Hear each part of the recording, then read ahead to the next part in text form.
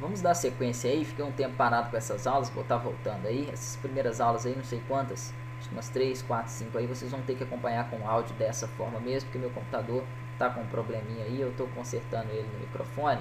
Então vou ter que fazer no notebook, não gosto de criar aulas aqui devido à qualidade do som ficar um pouco é, ruim como está aí. Mas vamos dar sequência. O que está faltando aqui agora, o que está faltando não, tá faltando muita O próximo passo nosso é o que? Trabalhar em cima desse buscar aqui. Ó. Vamos deixar isso funcionando para a gente passar para frente. Eu coloquei o nome com o mesmo botão aqui de, de, de, de, da caixa de texto e já troquei o meu. Então aqui eu estou colocando aceitar para o nome do botão e para o nome do, do, do, label aqui, né? Da, da caixa, no caso está buscar. É ela que nós vamos trabalhar. Vou vir aqui no código e vou fazer o seguinte. Aqui embaixo ó, nós temos a, a, consulta que é realizada né, quando você, você é, acessa o banco de dados. Você dá o carry, que é o que acessa no banco de dados, está, e traz todos os registros, lembrando que esse asterisco from são todos os registros da tabela produtos. É isso que acontece quando a gente executa, vou visualizar ele aqui, ele vai trazer todos os registros, como a gente já viu, da tabela produtos. Pronto. Só que o que eu quero é digitar aqui um valor, mandar buscar e ele trazer somente ele para mim. Então, vou ter que colocar aqui uma condição abaixo aí da consulta. Então, se né, o, o, campo que tiver escrito, se tiver escrito na verdade alguma coisa na caixa de texto, ele vai buscar só ela. Então, nós vamos ter que voltar lá no PHP, onde eu ensinei para vocês fazer essa comparação, que é o inset qual que é o método que eu vou utilizar para buscar informações de um label ou para enviar? É o post, né, que nós usamos aí para formulário. Então, é, cifrão ali, né, post. Vou falar o, as, os comandos aqui, às vezes fica longe, fica ruim para ver. Então, cifrão, né, porque é uma variável, e o método aqui é post. Só que antes de fechar aqui, eu preciso colocar os colchetes. Às vezes eu posso apanhar um tiquinho aqui com os caracteres expositor no notebook, como eu falei. E aspas simples, aqui é diferente ele vou colocar aqui dentro dele o nome do label que eu quero que ele é, acesse as informações. Então, se conter alguma coisa dentro do, daquele campo buscar, ah, então ele vai trazer só ele para mim. Tá faltando fechar um outro parênteses aqui e abrir a chave. Deixa eu achar aqui onde está essa chave.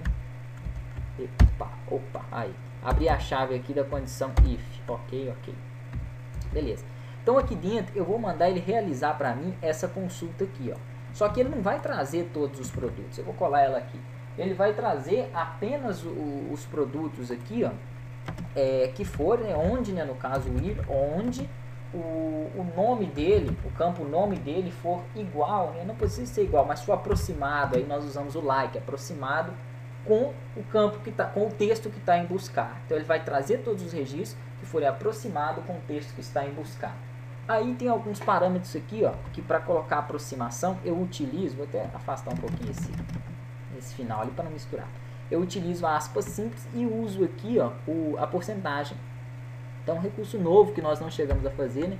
Em outras aulas não teve necessidade, estamos utilizando agora. É, aproximado com o que? Abro aspas para concatenar aqui com a minha variável post. Deixa eu copiá-la para ganhar tempo. É, ok. Então, eu vou concatenar. Estou comparando se aquilo lá, que o nome, ele é aproximado com o que eu tenho no campo buscar. Se for, ele vai trazer, ele vai exibir apenas ele para mim. Se não for, ele continua aqui a consulta e traz todos. Vamos fazer o teste ali já já.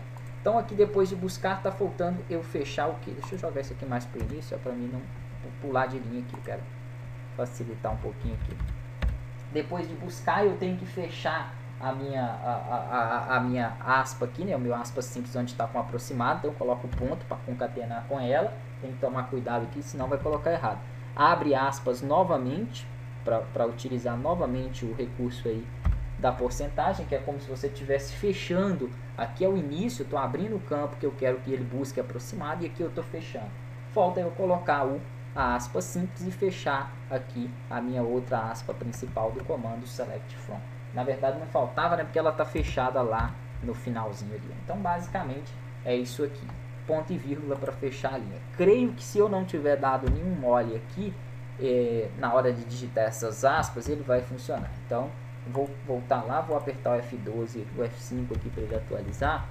Beleza, e vou tentar fazer uma busca em um dos produtos. Vou colocar aqui, por exemplo, câmera. Buscar.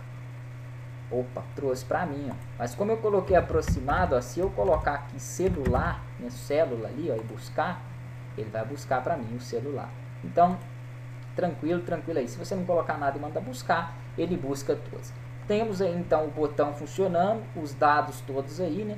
E o, o, os itens né, né, já, já tragos aí para o pro, pro, pro nosso projeto. Próxima aula a gente vai dar sequência.